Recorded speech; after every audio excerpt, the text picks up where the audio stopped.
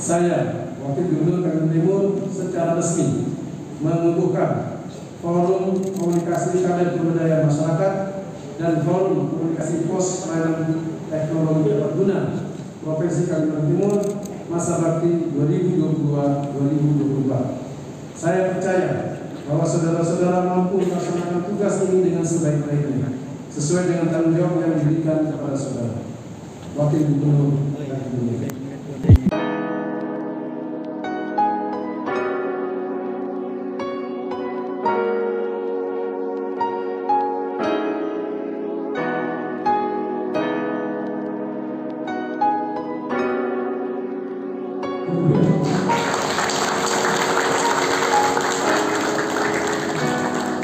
Ela.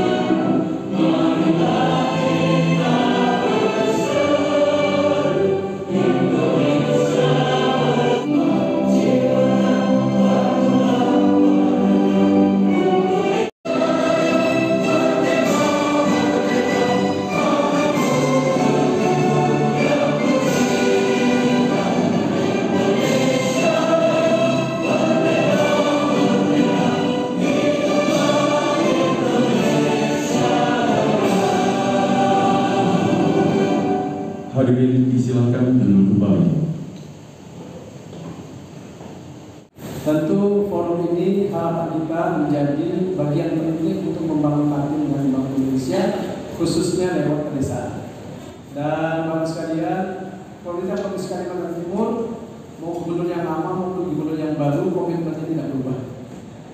Mau Pak Wampar maupun Pak Istan, komitmen untuk membangun itu tidak akan pernah berubah. Tapi memang situasi yang berbeda-beda. Dan kami di tingkat provinsi yang namanya pembangunan, siapa pun pembangunan, apa pun yang mau dibangun, apa pun uh, usahanya kami sepenuhnya. Di antara hal penting yang saya sampaikan pertama adalah jangan pernah berhenti bekerja keras. Jadi buah daripada kerja keras itu adalah TTG tadi. Kenapa ada munculnya teknologi tempat itu karena orang yang memiliki keterbatasan sumber daya seperti di Jepang, mereka berpikir keras untuk melakukan inovasi dan kreativitas. Akhirnya kita lihat di Jepang ada menanam padi di seperti di hotel dari lantai satu sampai lantai lima tidak di sawah. Naik melakukan teknologi tempat guna bisa memproduksi padi Jepang akhirnya apa? Dulu Jepang tidak pernah ada padi, sekarang ada terkenal beras Jepang padi. Begitu luar biasanya mereka menggunakan teknologi. Anggota ini tentu harus mempunyai memiliki pengetahuan, kemampuan dan kemauan dalam rangka untuk berpartisipasi dalam pembangunan di desa maupun di kelurahan. Kader ini dibentuk ditetapkan melalui Kepala Desa dan Kelurahan. Kemudian jumlah KPM dan Komisi Kapal Komunikasi Budaya Masyarakat ini berjumlah 28 orang. 9 kabupaten kecuali kota Balikpapan. Saya tidak tahu latar belakangnya kenapa tidak masuk. Mungkin nanti akan menyusul uh, keanggotaan dari kota Balikpapan.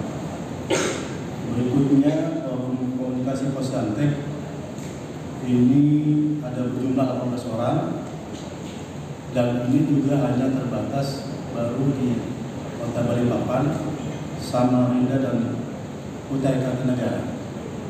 Ternyata saya cek data tadi, Posantek yang di lain belum terbentuk.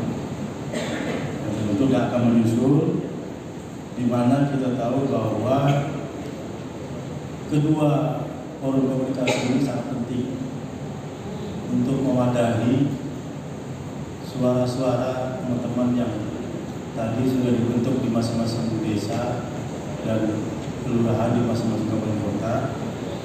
Tidak lain pertama mungkin menyerap aspirasi informasi serta potensi-potensi yang ada di desa dan di daerah.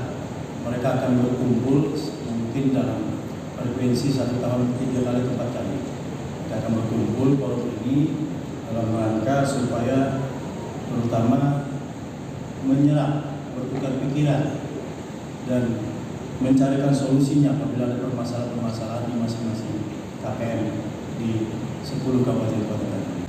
Termasuk juga eh, terbentuknya forum komunikasi pos pelayanan teknologi tempat ini dalam rangka memfasilitasi memfasilitasi inovasi-inovasi di masing-masing desa dan kelurahan yang bertebaran sehingga ini harus eh, diwadahi.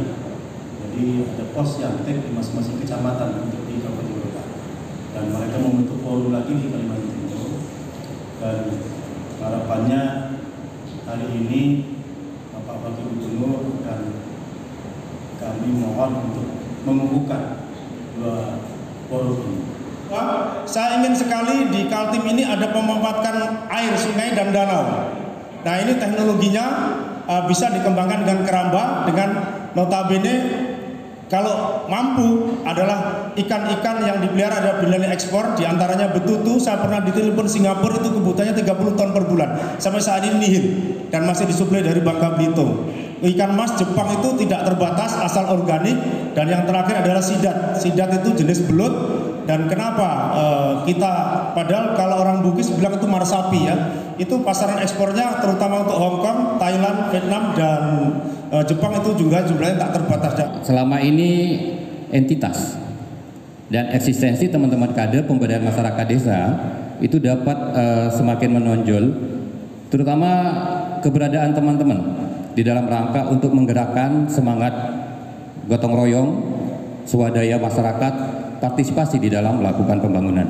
Harapannya ke depan dengan adanya forum ini nantinya peran serta dari teman-teman kader pemberdayaan masyarakat desa dan kelurahan yang ada di Provinsi Kalimantan Timur ini dapat menunjang mempercepat capaian target RPJM daerah tahun 2019 tahun sampai dengan tahun 2023 sehingga nantinya dapat terwujud cita-cita uh, Kaltim berdaulat.